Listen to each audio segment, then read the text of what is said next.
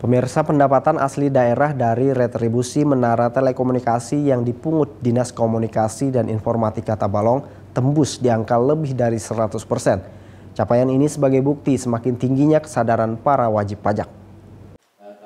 Berdasarkan data yang disampaikan Dinas Komunikasi dan Informatika Tabalong, saat rapat evaluasi program kegiatan tahun 2022 bersama Komisi 3 DPRD Tabalong di Gedung Praksi DPRD Rabu 11 Januari 2023. Tercatat PAD yang berhasil dikumpulkan di Skominfo Tabalong mencapai angka 117,69 persen atau 247 juta rupiah dari target 210 juta rupiah tahun 2022.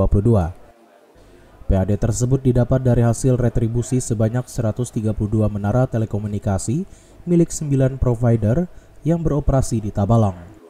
Sekretaris Diskominfo Tabalong Hairul Anwar mengatakan, tingginya realisasi retribusi ini merupakan bentuk kesadaran para wajib pajak dalam memenuhi kewajibannya sesuai dengan Perda nomor 1 tahun 2019 tentang retribusi pengendalian menara telekomunikasi di Tabalong. Jadinya tahun 2022 itu sudah melampaui dari target adalah sebesar 117, 7 persen. Ini lebih dari 100 persen. Targetnya dengan target targetnya ada 210 juta, terrealisasi itu 247 142 ribu.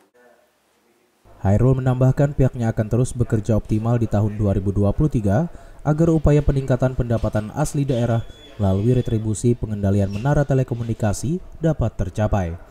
Dalam rapat ini, Diskominfo Tabalong turut menyampaikan realisasi anggaran tahun 2022, di mana realisasi anggaran Diskominfo mencapai 93,71 persen atau 13,2 miliar rupiah dari anggaran 14,1 miliar rupiah.